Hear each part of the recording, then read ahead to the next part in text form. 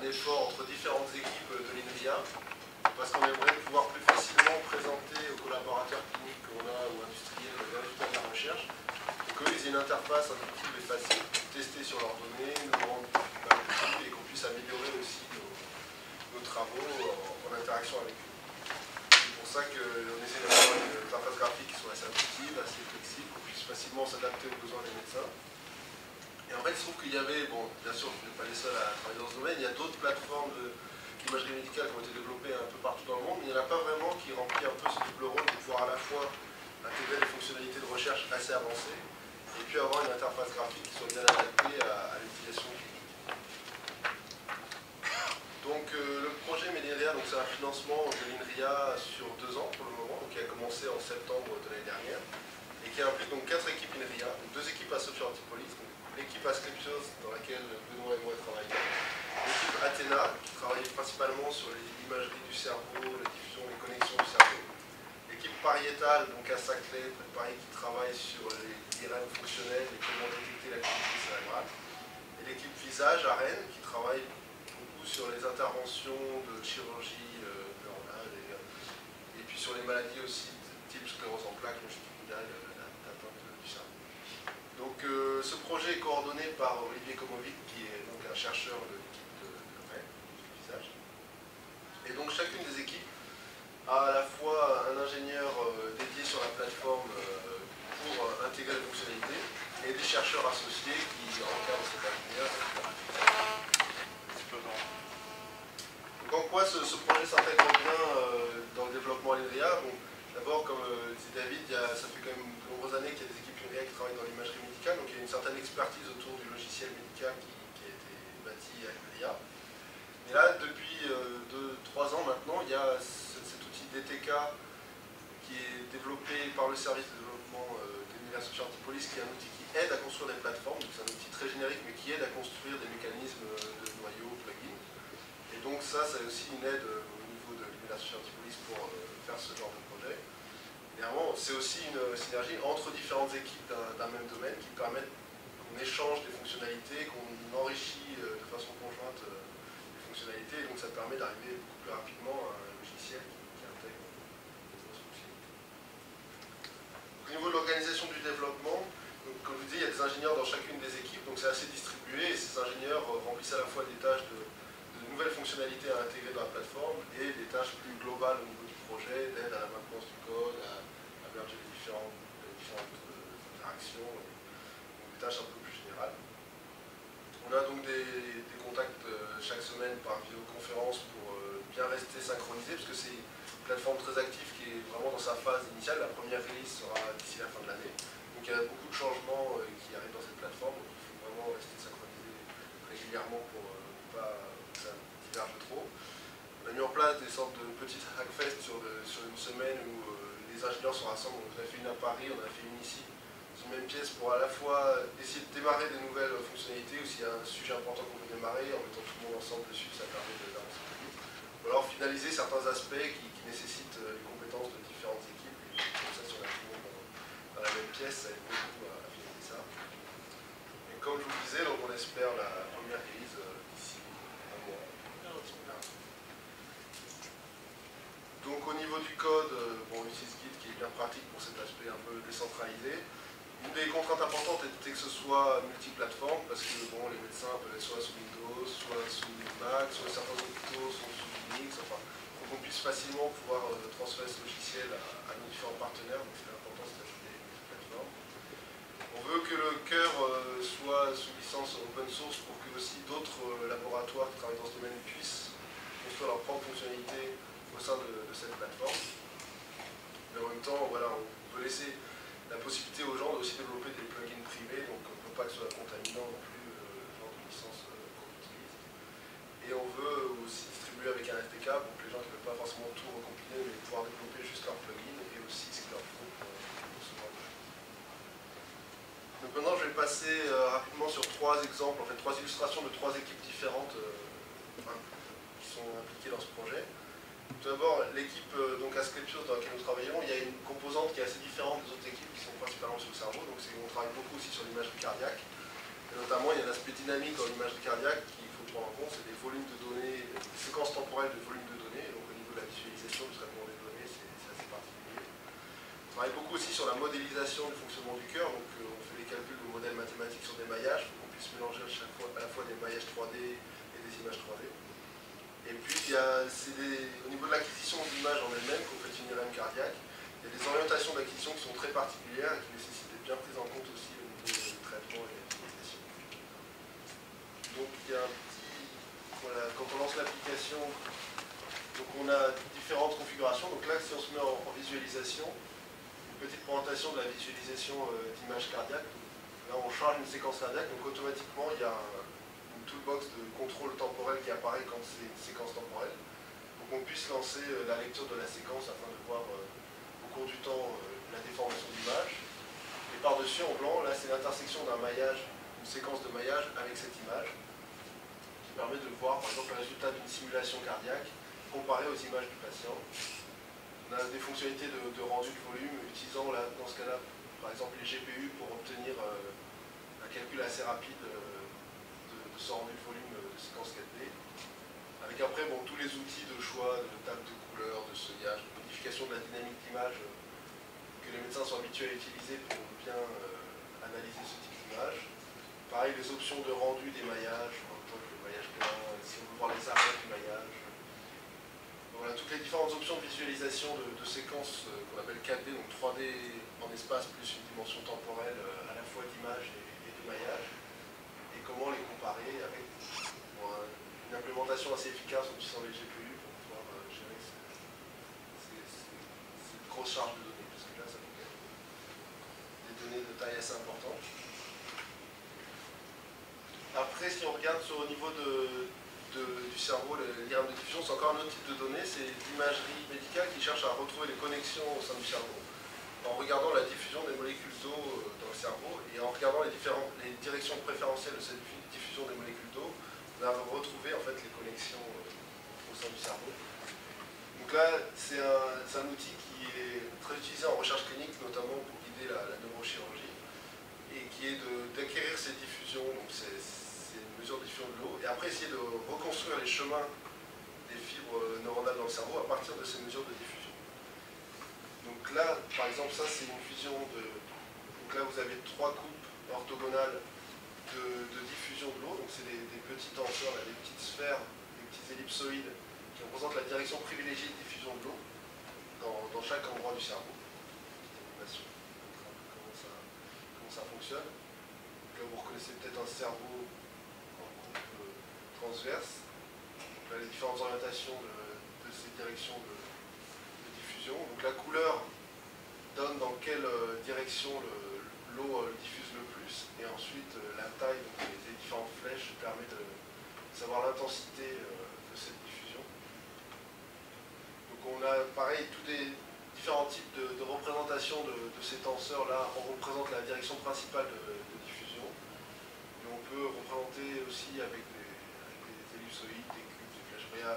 Beaucoup de modes de visualisation. C'est encore très exploratoire parce que les médecins euh, ont encore euh, beaucoup de questions sur comment utiliser au mieux ce genre de données. Donc c'est aussi bien de leur mettre en main différents différents modes de représentation de données assez complexes comme ça, en explorant un peu les données, ils peuvent aussi voir qu'est-ce qui est le plus parlant pour, euh, prendre leurs décisions ou pour, contrôler leurs interventions.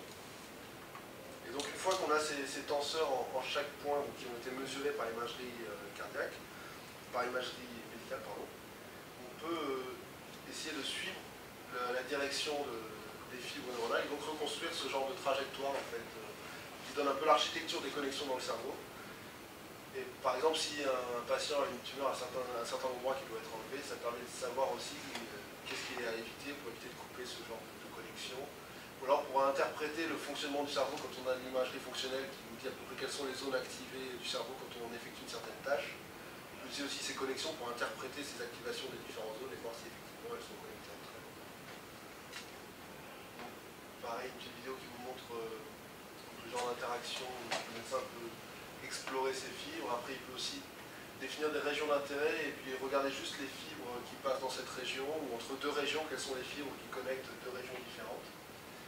Donc ça, c'est le genre de fonctionnalité qui a eu beaucoup de succès en fait dans les, pro, dans les premiers logiciels distribués par l'INRIA, la première version du logiciel Melgria a atteint plus de 30 000 downloads par an, en fait, parce que c'est un des rares logiciels en fait, qui permettait ce genre de, traitement et ce genre de visualisation. Or, c'est un domaine qui est très actif en fait dans, la recherche biomédicale, donc euh, il y a pas mal, de, succès. Donc, bien sûr, dans cette nouvelle plateforme, cette nouvelle version, on veut conserver tout ce genre de, fonctionnalités. Donc ensuite, pour finir, un dernier exemple sur euh, les travaux qui ont été faits dans cette plateforme par l'équipe euh, Visage à Rennes. notamment sur le processus, donc toutes ces équipes, comme je vous le disais, ces équipes qui travaillent dans l'imagerie médicale depuis de nombreuses années, donc elles avaient leurs propres outils, avec leurs propres formats pour faire les traitements et les visualisations. Donc il y a tous les travaux qui sont comment euh, transférer ces fonctionnalités dans cette nouvelle plateforme. Là par exemple, ils avaient un, algorithme de traitement d'image pour débruiter en fait, les images médicales avaient fait dans leur propre librairie qui s'appelle Vista. Et donc, euh, donc, voilà, ils ont eu besoin de faire un peu de refactoring au niveau de, leur, leur, code, d'intégrer ça dans cette couche générique de plugin qui est proposée par euh, le DTK, donc ce, toolkit qu'on utilise dans la plateforme, et refaire euh, bien sûr l'interface graphique. Et donc avec un effort qui finalement n'était pas trop important, ils ont réussi à facilement réintégrer ces fonctionnalités. Et en plus, quand on intègre donc là par exemple ces outils de traitement, ça permet aussi de voir quelles sont les différentes configurations de, la plateforme Ce qu'on appelle configuration, c'est le type de, spécificité que le médecin va choisir pour faire sa tâche. Par exemple, s'il veut améliorer une image, il va se mettre dans la configuration filtrage et lancer différents fils pour améliorer son image. Mieux de faire du traitement cardiaque, il va se mettre en configuration cardiaque. Donc là, un, ce transfert de fonctionnalité a permis de mettre en place la configuration filtrage pour faire du traitement d'image afin de débruiter les images, et donc mettre en place un mécanisme pour facilement, après, si une autre équipe a besoin d'ajouter une fonctionnalité de filtrage dans cette plateforme, elle s'intègre directement dans, cette configuration et elle peut facilement euh, rajouter des, fonctionnalités. Par exemple, là c'est la configuration de filtrage, alors malheureusement vous n'êtes pas très bien. En gros, il y a l'image originale qui est assez bruitée, et donc après filtrage par euh, cette euh, fonctionnalité, donc on arrive à retirer un peu toute la granularité des différentes structures et avoir une image qui a des, intensités beaucoup plus homogènes, ce qui rend après euh, l'analyse automatique beaucoup plus facile. Et donc par cette configuration qui permet d'avoir une image en entrée et une image en sortie, donc un processus qui est vraiment très générique, donc plus facilement couplé avec donc, une, librairie qui s'appelle ITK, donc Inside Toolkit, grosse librairie open source qui est développée aux États-Unis, qui propose, beaucoup d'algorithmes de, de filtrage. Et donc on peut facilement encapsuler dans un plugin de la plateforme Medinria, une fonctionnalité euh, de filtrage de cette librairie, et donc réutiliser cette configuration où on a simplement une image entrée et une image en sortie pour euh, facilement rajouter des fonctionnalités euh, dans Medinria. Et le, dernier exemple, en fait, ils ont développé au niveau du stockage de données aussi d'études une sorte de protocole et de serveur pour stocker ces données images, plus toutes les données aussi à côté qui sont les scores cliniques des patients, puis des informations additionnelles qui n'existait pas vraiment dans les, dans, les stockages PAX utilisés euh, par les, hôpitaux. Donc, développer leur propre serveur. La question c'était est-ce qu'on peut facilement dans la plateforme Medinria interroger ces serveurs, récupérer les données qui vont bien? Donc là en l'occurrence, c'était simplifié par le fait qu'ils avaient déjà fait un, client euh, en utilisant les QT qui, avec ce serveur. Et comme la plateforme Medinria a été discutée, ils ont pu récupérer aussi une bonne partie de leur code existant. Donc ce qu'il fallait faire, c'était développer une façon dynamique euh, d'accéder à différents serveurs. Pour le moment, on avait juste la connexion avec le serveur classique qui est PAX, et donc c'était codé un peu en dur dans la plateforme. Alors on s'est dit, bon, finalement, là, on a besoin de se connecter à un serveur chat noir, mais on a peut-être aussi d'autres protocoles, d'autres types de serveurs avec lesquels on va discuter. Donc ils ont mis en place un processus plus dynamique pour sélectionner la, source de données. Est-ce que c'est un serveur PAX, est-ce que c'est un serveur chat noir Donc mis en place, euh, pareil, une sorte de configuration pour euh, les sources de données, qui est plus générique, plus modulaire, et qu'ils ont pu donc connecté, alors peut-être pas très bien, voilà. En gros ici on a différentes sources de données, soit c'est la base de données locale, soit c'est le système, système du fichier de l'ordinateur, soit c'est un serveur PAC, soit c'est un serveur chat noir. Donc on peut choisir le protocole, le type de serveur qu'on veut utiliser, bon, les, informations de connexion. Et donc après on peut parcourir ce serveur, faire des requêtes récupérer directement dans le logiciel donc les images d'un patient donné ou d'une pathologie donnée. Par exemple, ça a été utilisé aussi pour euh, interface avec, euh, avec un serveur PAX. pareil, voilà, on fait une requête, on, a toute une liste de patients, on peut voir pour un certain patient quelles sont les différentes séries d'images qui ont été faites, c'est celles qui nous intéressent, et on les récupère en local, après pour lancer les traitements, cet aspect client-serveur aussi qui est intégré euh, dans la plateforme. Donc voilà, c'était les illustrations euh, que je vais vous montrer sur, le, sur, cette, plateforme. Donc on a donc voilà, le, site web de la plateforme qui sera euh, qui très bientôt. Et Benoît va vous présenter donc un peu plus en détail comment euh, on développe en particulier une certaine fonctionnalité. il y a certains détails, que, certaines parties que, Maxime a euh, juste survolé, que je vais approfondir un peu. Et je vais aussi introduire d'autres concepts euh, sur le développement lui-même.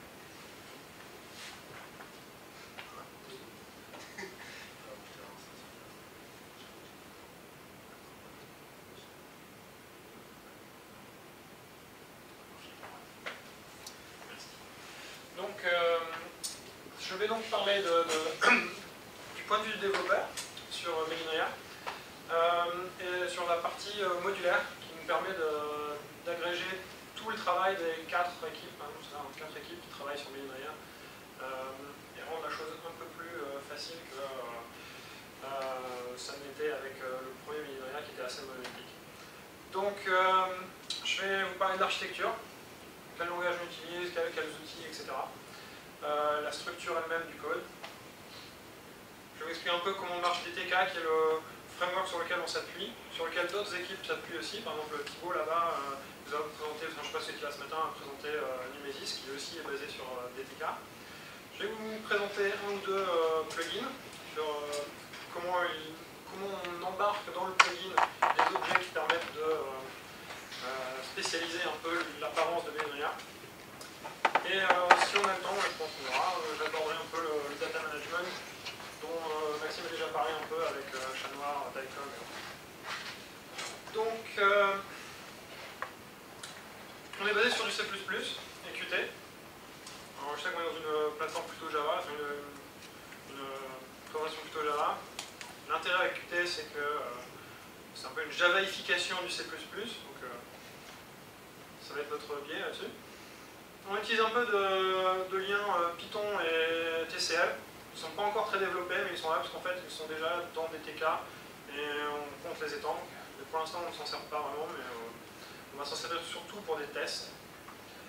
Euh, pour ce qui est de la compilation, on utilise CMake parce qu'on dépend, comme Maxime l'a dit, de ITK, de VTK, qui sont des projets qui eux aussi sont développés avec CMake, qui a l'avantage d'être multiplateforme comparé à d'autres outils tels que Autoconf, qui est uniquement euh, Linux par exemple. Euh, ça nous permet de générer nos binaires pour Linux, Mac, euh, Windows. comme Maxime l'a déjà dit, on utilise Git pour tout ce qui est contrôle de version. Comme on est quatre équipes, on a beaucoup de développement qui se passe en même temps. C'est très très pratique d'utiliser plusieurs branches sur plusieurs équipes, même au sein d'une même équipe, on a plusieurs branches en parallèle. Git facilite beaucoup cette tâche de séparation du code, en, regroupement du code. Euh, ça nous a beaucoup aidé. Et enfin, pour le, management de projet, pour tout ce qui est euh, euh, gestion des bugs, des features, etc., on utilise Redmine, qui se lie avec Git, donc on peut lier tous nos commits qui concernent des bugs avec la plateforme, c'est très très pratique. Donc, quelques avantages de, de Qt, puisqu'en fait Qt euh, apporte beaucoup par rapport au développement C++ brut. C'est une librairie qui est très riche. Ça, ce n'est pas uniquement utilisé pour la GUI, c'est euh, euh, utilisé pour tout ce qui est réseau, échange de données, tout ce qui est gestion de thread aussi, et à chaque fois de façon multiplateforme. Donc ça facilite beaucoup le développement. Pour ce qui est du gestion de la mémoire, on a des outils très intéressants dans Qt, qui sont le l'association de parents. Pour chaque objet, on peut associer euh, un parent. Donc quand l'objet de parent est détruit, tous ses enfants sont euh, détruits en même temps, de façon euh, récursive. Ce qui est très utile quand on n'a pas de garbage collector, contrairement à Java. c'est plus rapide qu'un garbage collector, vu que c'est automatique, ça, juste, c'est une liste chaînée. Il y a le même système de parentage pour les widgets, mais là en plus, ça permet de positionner un widget le widget fils va toujours être placé à une position 0,0 de son parent. par défaut. Et tout ce qui est montré ou caché un widget va se servir de cette gestion de, fils et de gestion récursive. Enfin, on a un système de, de boucle d'événements basé sur des signaux et des, récepteurs qui est plutôt là-dessus, des fois ça peut poser des problèmes. Et enfin, euh, la mémoire est parfois euh, partagée implicitement. Par exemple, les strings, quand on crée une string et qu'on la copie, elle n'est pas copiée automatiquement, elle est juste, on partage la mémoire jusqu'à ce qu'on la modifie. À partir du moment où on la modifie, la mémoire est copiée, mais euh, en attendant, tant que la chaîne n'est pas modifiée, on utilise la même, ce qui permet d'économiser pas mal d'opérations d'association.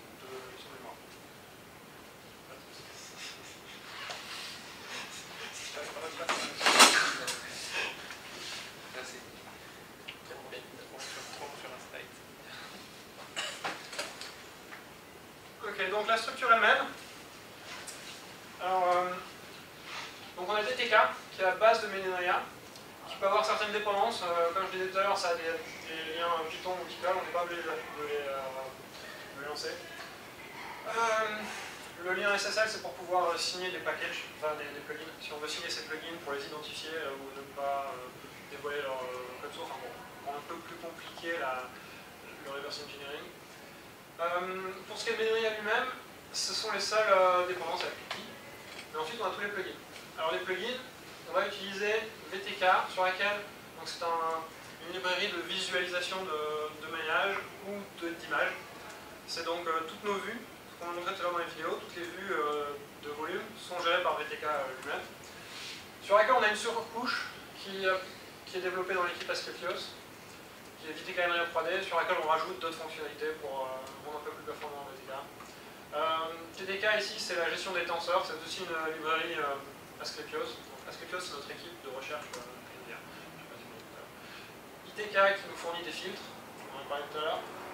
RPI, qui est une euh, librairie euh, aussi développée euh, dans, l'équipe pour pouvoir faire du recalage ça nous permet de faire une abstraction de tous nos algorithmes de recalage et ensuite de les intégrer facilement dans, dans.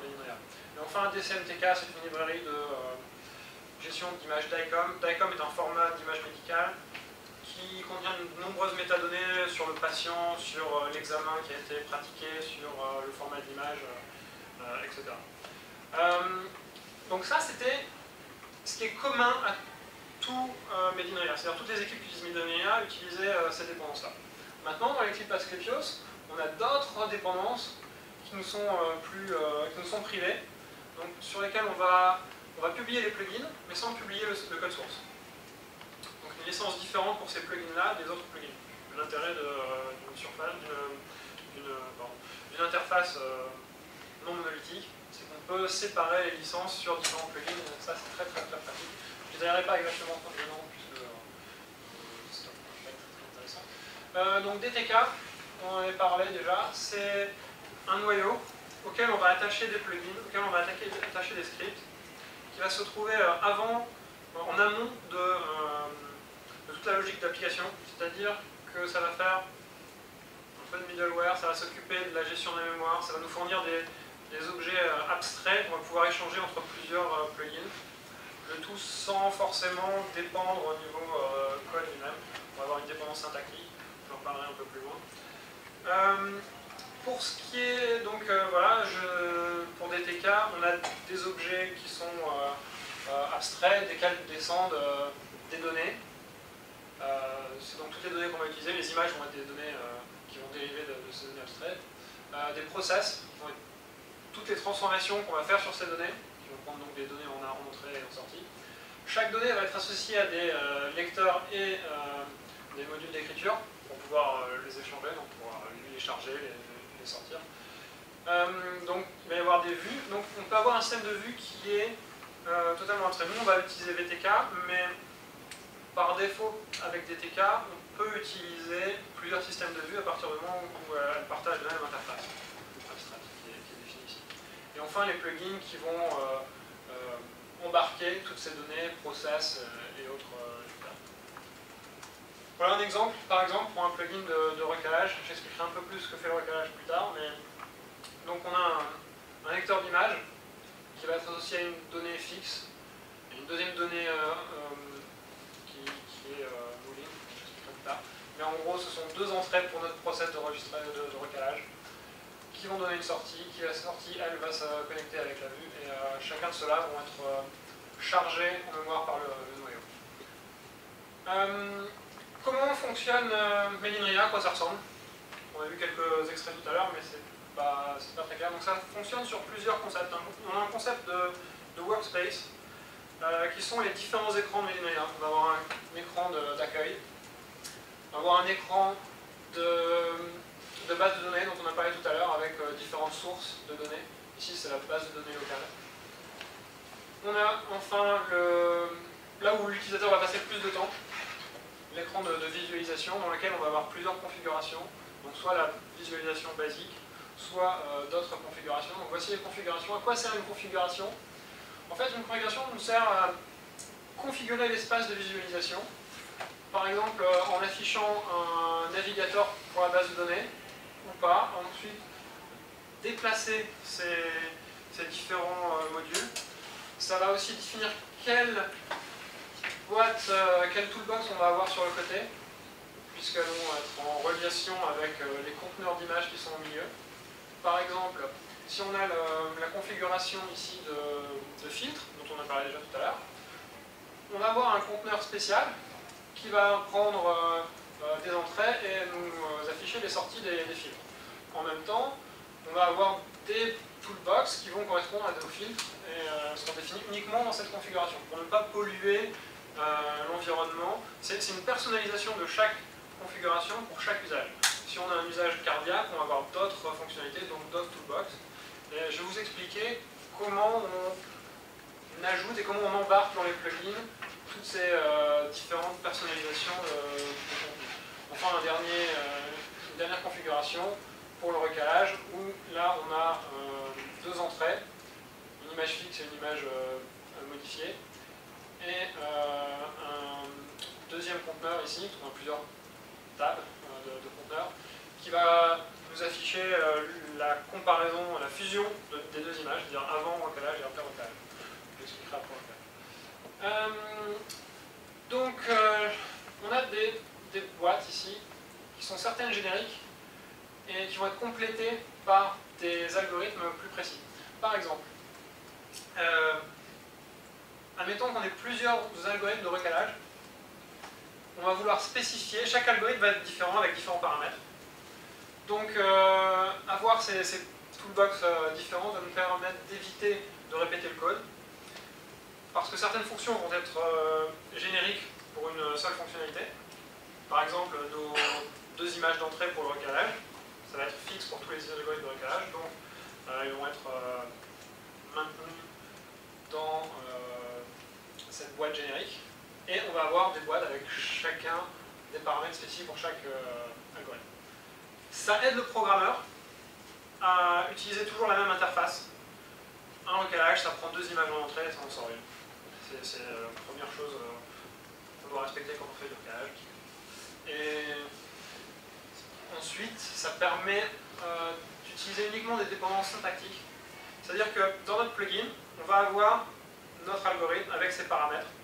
Et dans Medinria lui-même, on va juste savoir qu'on a une boîte qui, euh, est une boîte de type recalage, mais sans en avoir plus. C'est juste que cette boîte type recalage, elle va lancer un process, c'est tout. Euh, donc là, j'en ai, une autre, euh, une autre boîte qui présentait d'autres paramètres pour toujours du recalage. Donc, Qu'est-ce qu'on met dans un plugin? Parce qu'on a toutes nos équipes qui nous envoient des plugins. Donc, pourquoi on a plugins Chaque objet euh, qui peut être enregistré dans une factory, on, utilise le, design pattern de factory. Donc, euh, ces, usines à produire des outils vont nous permettre d'enregistrer tous nos process, nos lecteurs, nos, nos modules d'écriture, euh, nos interacteurs dans le plugin. De la même façon, on va pouvoir enregistrer nos configurations et nos toolbox euh, spécifiques. pour le recalage lui-même, je vais décrire un peu ses, spécificités. Ou que va-t-on mettre dans le, plugin euh, Donc le recalage, qu'est-ce que c'est? C'est euh, réaligner plusieurs volumes. Donc si vous faites des acquisitions de, admettons, du même patient, prenez une acquisition de son cerveau un jour, puis trois jours plus tard, ne va pas avoir la même position dans la machine, même, on ne va pas avoir la même intensité si par exemple on utilise une, une IRM, si on prend même la même, prise deux fois d'affilée, on ne va pas avoir les mêmes intensités. Donc, admettons qu'on a une position légèrement différente. Ici, on a juste une rotation et une translation.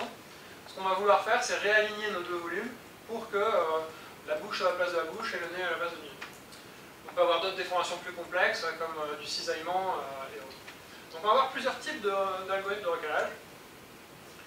De simples recalage rigide, c'est-à-dire une matrice de transformation avec une rotation, souvent une transformation affine, une rotation, translation, cisaillement ou des euh, transformations plus complexes, non rigides, c'est-à-dire des, champs de vecteurs qui vont nous appliquer une déformation sur chacun des voxels de notre volume.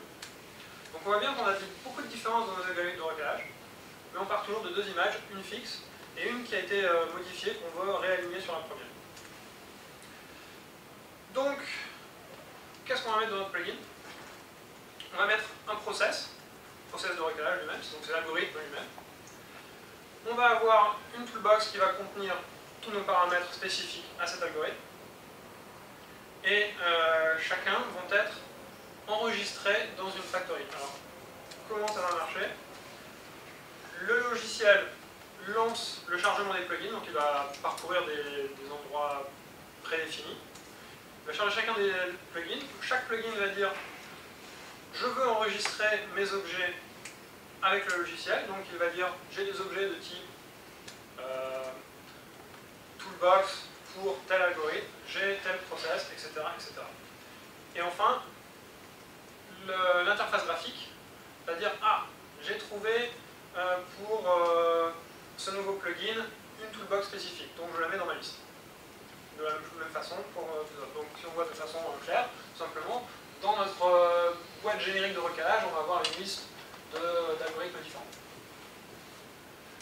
Euh, si on reprend notre euh, workflow tout à l'heure, au moment où l'utilisateur le lance, donc il va choisir un algorithme dans, cette boîte, il va sélectionner ces deux images, fixe et movie, il va changer les paramètres, il va le lancer, on va avoir un nouveau process, un nouveau, thread qui va être lancé, et on va récupérer euh, l'image à la fin. Tout ça basé sur des signaux et des slots de Qt, qui vont nous permettre de récupérer l'image une fois qu'elle sera prête en sortant du, euh, thread en question, sans vraiment nous occuper de prendre le retour de la fonction. Cette interface de, de signaux et de slots euh, de Qt est très très très pratique pour euh, tout ce qui est gestion asynchrone de process et d'interaction avec l'utilisateur. donc je vais pouvoir parler un peu de, la gestion des données. Donc chaque volume de données est souvent assez gros. Si on prend euh, une acquisition classique euh, sur euh, une CT, c'est-à-dire une radiographie en volume, hein, sur un scanner, on va avoir plusieurs centaines de, mégabytes sur, sur, un seul volume. Donc on ne peut pas les charger comme c'est pas gratuit. Donc on va essayer de, partager la mémoire. les librairies qu'on utilise, que ce soit VTK ou, ITK, peuvent travailler sur le même buffer. Sur un seul buffer partagé sur, plusieurs filtres ou sur plusieurs euh, vues. par exemple, si on utilise plusieurs vues, on a vu euh, euh, plutôt dans, la, dans une des vidéos, qu'on peut mettre le même volume, donc plusieurs vues différentes, et avoir plusieurs orientations. On peut avoir plusieurs projections à la fois, on utilise la même donnée au départ, donc forcément il faut pouvoir gérer la mémoire de, ce volume et pouvoir le libérer quand on n'en a plus besoin. Ça c'est une partie du problème. L'autre problème c'est donc on stocke de l'image, on va aller chercher sur le réseau en utilisant des packs, on va le chercher sur euh, euh, le plugin chat noir qu'on a vu tout à l'heure. Pouvoir euh, un peu mixer tout ça et unifier la gestion des données. Donc comment on récupère des données Comme on l'a dit tout à l'heure, on a plusieurs sources de données ici.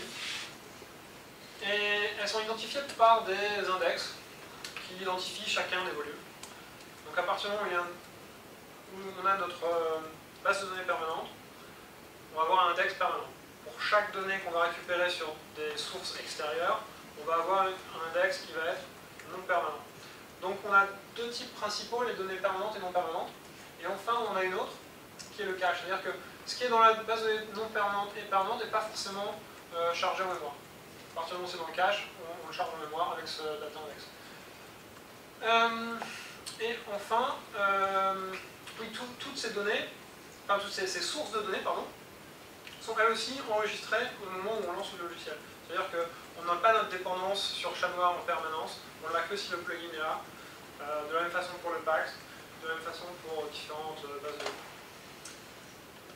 donc à chaque fois qu'on veut charger une donnée, notre, donc on a ce data manager qui nous permet d'abord vérifier qu'on a assez de place pour charger cette donnée. Si on n'en a pas, il nous propose de soit virer de la mémoire ou de.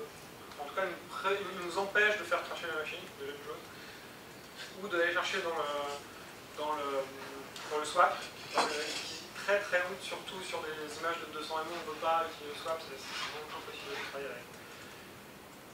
Donc, enfin, une fois qu'on a lu la donnée, on va la sauver. Donc chaque donnée qui est générée par des process, tels que le requérage plutôt, euh, on va essayer de le remettre dans notre base de données non permanente pour pouvoir l'indexer avec le reste. Donc on va filtrer.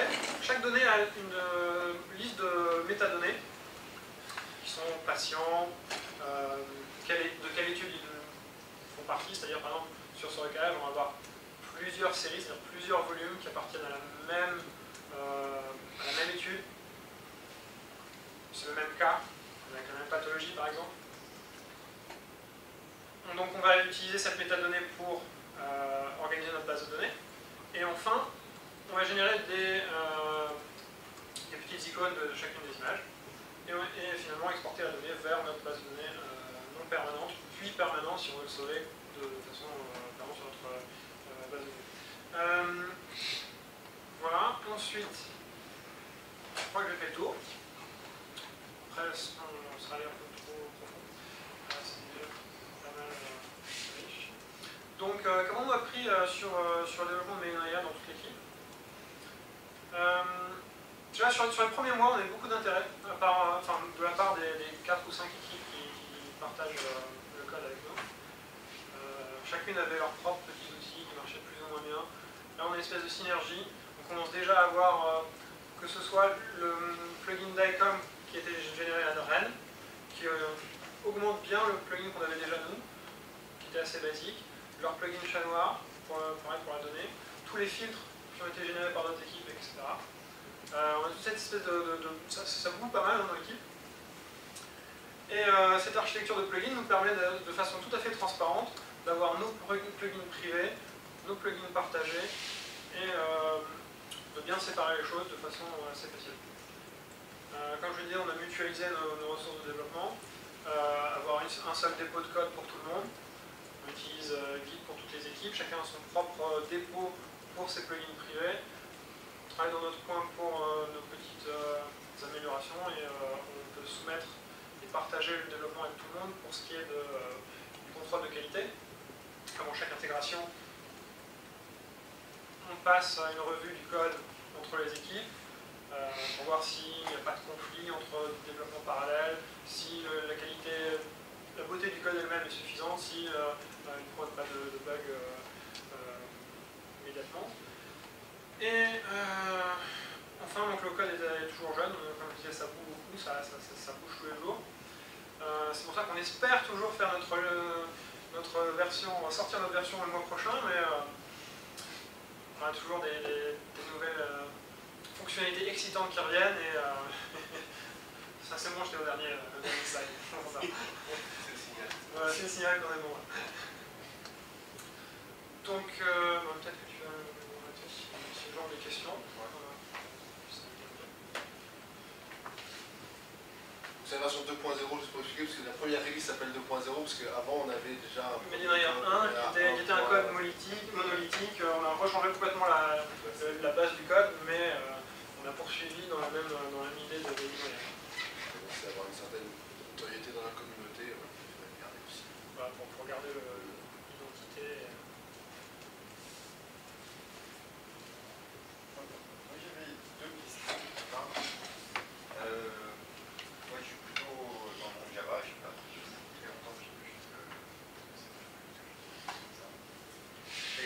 disiez que, dans, que C ne savait pas faire du changement dynamique. Ne savait pas faire, pardon. Euh, et en fait, euh, il y a beaucoup de, La façon de faire un changement dynamique est très différente d'une plateforme à une autre. Mais Qt nous permet, de, à toute une interface de, chargement de, plugins comme ça de façon dynamique. C'est vraiment dynamique à chaud. C'est vraiment dynamique à chaud. Euh, on peut le faire au moment où on veut. Ça, parce que Linux c'est un DL open. Ça, c'est pas, mais voilà. Euh, on peut charger n'importe quelle librairie partagée. Euh, C'est-à-dire que je peux recharger, si je modifie ma librairie, je peux la recharger à chaud euh, La recharger à chaud, je suis pas sûr. Euh, Thibaut, à ton avis? Je crois pas. Hein. Non, je crois que tu peux la charger qu'une seule fois. Mais une fois que tu as les symboles, ils sont, notés. Voilà, pour moi, c'était la spécificité de C, c'est que je ne pouvais pas faire ce genre de truc. Et plugin, pour moi, ça veut dire ça. Ouais, l'intérêt là sur le coup, c'est de ne pas avoir de dépendance sur le code lui-même. Ouais, ouais, ouais. On a juste des dépendances syntactiques, c'est-à-dire qu'en fait, on va charger des. On va avoir des objets de, classes génériques, et les vont juste être chargées. Euh, euh, chaque, chaque, chaque, objet qui va s'enregistrer avec une factory va donner à la fois un identifiant et une fonction, euh, donc un pointeur de fonction pour allouer la mémoire à lui-même. Donc, le corps ne sait pas quel, objet il va instancier, il connaît juste le, type générique. Et donc ça je comprends bien. Donc, ça c'est la méthode Il semblerait qu'il y ait deux, deux, développements un peu différents, c'est-à-dire qu'il y a celui de la plateforme en elle-même qui elle ne connaît pas du tout les, oui, c'est ça. les plugins, on va dire, et celui de certains plugins spécifiques qui datent de... C'est pour ça qu'on a certaines, on a certaines interfaces communes, on a du code commun pour, commun pour certaines euh, fonctionnalités, qui là vont être dans le, dans le noyau.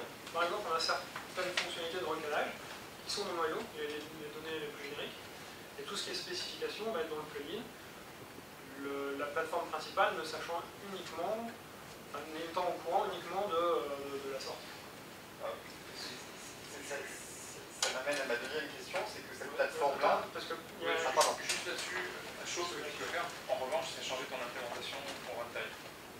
Si tu as deux plugins qui répondent à la même et en cours, de, en cours de traitement, tu peux décider que tu vas changer ton implémentation. Tu ne recharges pas une librairie dynamiquement, euh, tu ne recharges pas la même librairie qui aurait été modifiée, mais en revanche, tu peux faire appel à une autre qui fournit la même fonctionnalité. Qui le même service. Oui, donc la, la deuxième question, c'était que cette plateforme en elle-même, euh, elle, elle, a l'air de développer un certain nombre de, je crois que tu as fait configuration qui dans Eclipse ça s'appelle de perspective. Euh, euh, oui, ça arrive sur, sur Eclipse, c'est terme de perspective. Euh, mais ça a l'air de redévelopper justement un certain nombre de, de trucs qui sont très utiles, très pratiques. Ben, nous, on les utilise, on les apprécie dans Eclipse, mais ce que je suis étonné, c'est que justement, dans Eclipse, c'est il y a une sorte de. C'est plus large que Made in React, quelque part, c'est une plateforme commune de développement de plugins. D'accord. Donc là, comprend bien que dans une plateforme de cette nature-là, on est un C'est bien, ce que je comprenne un peu, c'est, ça sert autant à développer des plugins qu'une interface, c'est ça? Euh, Les perspectives. Euh, les perspectives, ça sert à déterminer la position de chaque euh, plugin. D'accord, donc c'est juste un agencement graphique. c'est un agencement graphique, mais c'est aussi la, sélection de tous les plugins qui sont actifs pas. D'accord, ça ressemble assez à notre configuration. C'est le même contexte, on détermine si on a besoin ou c'est en termes d'idées, c'est exactement la même chose. je pense que c'est exactement pareil.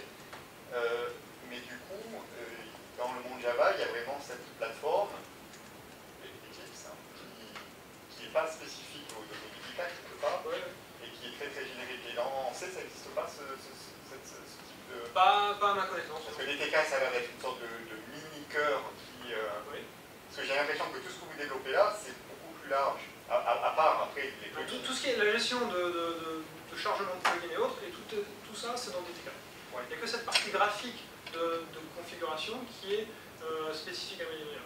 Oui, mais des configurations, c'est quelque chose qui ne devrait pas être spécifique quelque part de. À ma connaissance, il n'y en a pas en C. Euh... Voilà, vous n'avez pas eu l'envie, l'idée de, de, le faire plus large que ça, c'est-à-dire d'avoir une couche. Euh, Honnêtement, ça ne nous est pas venu à l'idée et on avait un truc qui était assez restreint sur, euh, sur parce que même au niveau de l'INRIA, je pense que ça, les gens qui développent à partir de, de, ces pourraient trouver un intérêt d'avoir cette plateforme. Je ne sais pas, par exemple, Eclipse, vous avez comme ça une histoire de, différentes interfaces euh, graphiques ou euh... Ça se pose. Je pense que ça se pose tout le temps. Hein. Alors, l'avantage, c'est que le boulot qui est fait dans la n'est pas perdu. C'est-à-dire que si à un moment donné, on s'aperçoit que ce genre de fonctionnalité a, vocation à être mutualisé au sein des différentes autres équipes qui utilisent le même framework, on va pouvoir faire remonter au niveau des TK, la gestion en tout cas. Euh, Puisque dans tous les cas, on, hérite. On peut le faire remonter euh, au niveau des TK pour que tout le monde ensuite euh, puisse, puisse en bénéficier. Parce que le code hérite directement d'objets des TK, donc on peut très bien faire remonter les objets dans la librairie.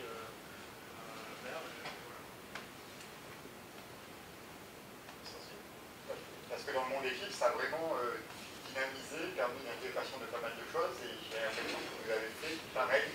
Oui, mais si tu veux, c'est quand, quand, quand, même limité à Eclipse lui-même. Pas, Eclipse, c'est pas le monde Java en entier. Bon, c'est vrai que c'est une grosse partie du monde Java, mais...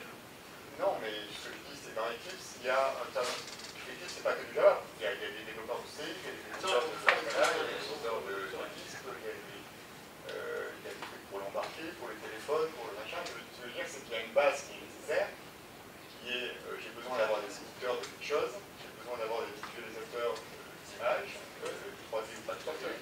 J'ai besoin d'avoir des configurations qui me disent que dans un contexte, je vais avoir des fenêtres à gauche, à droite qui doivent être paramétrées quelque part. J'ai besoin d'avoir des fenêtres de configuration de paramètres, euh, ce ça des choses euh, et, et, ça, ils en ont fait justement une plateforme commune, indépendamment. Il y a besoin de débuggeurs, par exemple, j'ai besoin de quelqu'un j'ai l'impression que tout le travail qui a été fait là, euh, en fait, est beaucoup plus, large que euh, l'application médicale. Ah, après, il y a une partie que je comprends bien qui est, médicale et qui est pas communiquée, mais... J'ai l'impression qu'à l'origine, quand même, enfin, DTK, à l'origine, était pensé comme étant assez euh, séparé de l'interface graphique. C'était plutôt pour fournir des fonctionnalités derrière et tout, devait pas trop... Et Qt aussi est parti comme ça. Ouais. Un de plugin. Qt n'est pas utilisé aspect euh, dans la partie dans la, pas dans DTK.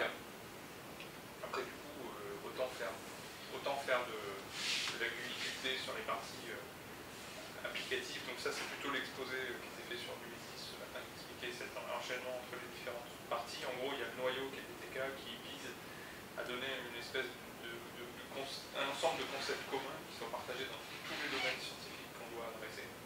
Et après, il y a des logiques applicatives dérive directement de, cet ensemble, si d'interfaces, de classes abstraites. En Java, on appellerait ça plutôt des interfaces. Et, euh, du coup, euh, on a une implémentation euh, spécifique. Disons, on a une spécialisation, on a des interfaces spécialisées pour chaque logique applicative. Donc, il y en a une pour la, la une plutôt pour la numérique, etc.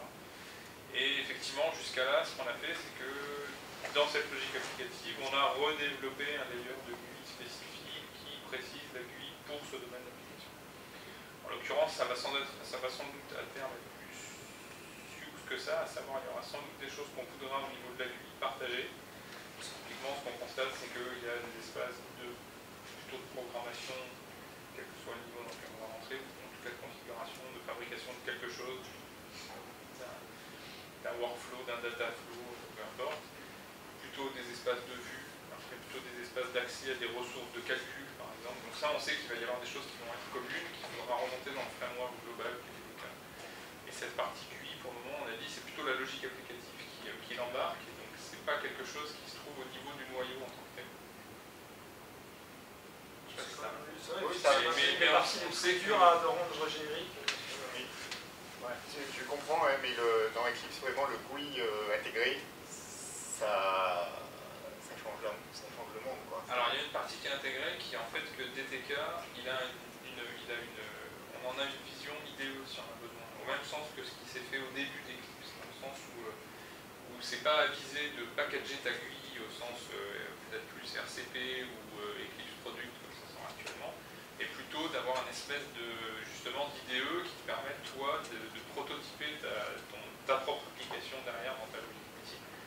alors il y a des bribes, euh, parce que évidemment on essaye de, plutôt que d'avoir refait Eclipse en disant euh, pareil, on n'est pas parti comme ça. On est parti, on s'est dit on va faire du code, on va rendre générique. On a commencé juste par rendre euh, un certain nombre de concepts en commun, et du coup on essaye de, fonctionner par couches successives, et on essaye de merger justement dans la plateforme DTK les contributions qui viennent des différentes équipes.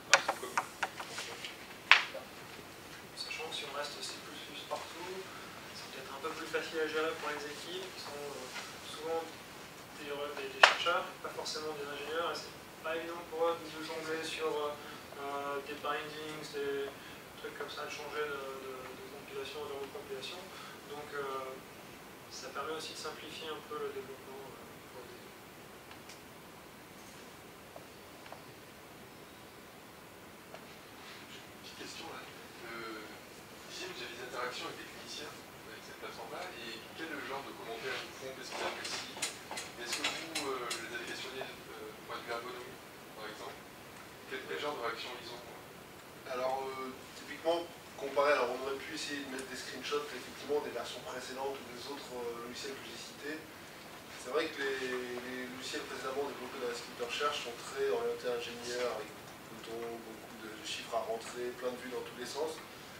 Là, on a essayé d'avoir quelque chose qui ressemble quand même plus aux stations de travail que eux ont dans les hôpitaux, dans les salles où ils font les, diagnostics.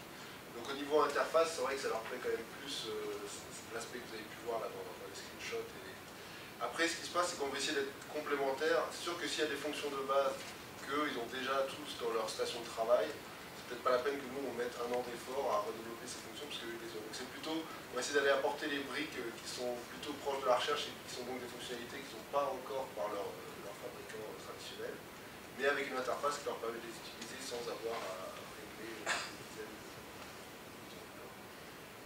On essaye de, cibler en fait par, euh, par projet, on a des projets avec eux pour certaines applications cliniques, donc on va essayer de développer une configuration dans laquelle faire un peu leur workflow de, traitement pour les briques qui leur manquent pour cette application clinique, les générer. Par exemple, on travaille beaucoup avec un hôpital cardiologique à Bordeaux. Ils ont besoin de générer un certain type de maillage, un certain type de données pour après l'importer dans leur plateforme de guidage pour les interventions. On va essayer d'avoir le workflow qui leur permet de passer des images que eux, qui, des traitements qu'ils ont déjà pu faire avec leurs outils, à des informations que eux peuvent utiliser directement pendant les interventions, parce que ça, c'est une brique, par exemple, qui manque actuellement. Donc ça, c'est facilité par les, euh, par les configurations. On leur présente juste l'interface qui leur convient. Euh, on peut même enlever les autres plugins. Comme ça, ils ont uniquement accès à cette euh, interface-là, euh, sans aucune, aucun besoin d'aller dans le menu Intel, etc., fonction truc, qui prend toujours beaucoup de temps et qui arrive dans pas mal de, logiciels qui étaient là c'est ce qui est bien, ce côté uniquement ce dont j'ai besoin au moment où j'en ai besoin. qu'on n'a pas encore développé, mais qui pourrait être intéressant sur la suite, c'est toute une gestion de, du workflow, du workflow du clinicien, je veux dire, hein, euh, qui est enchaîner les étapes les unes après les autres, euh, qui suit cette, euh, cet enchaînement d'étapes de façon linéaire, encore une fois pour le guider. Et ça, on n'est pas encore là.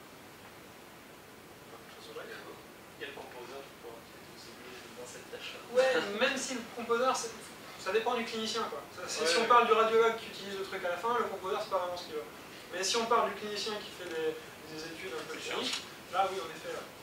Euh, parce que le DTK a, une couche qui s'appelle le composeur qui permet de, graphiquement d'assembler des, briques et donc euh, des, euh, des, process les uns avec les autres et d'enchaîner les données pour pouvoir avoir un, workflow de façon graphique sans coder une,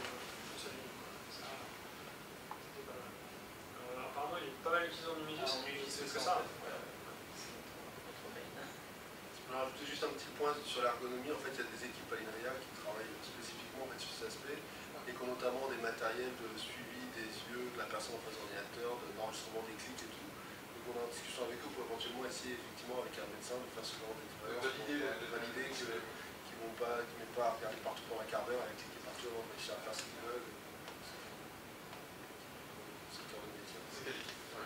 Donc il y a l'équipe Axis et l'équipe Edelweiss. Sur le matériel et sur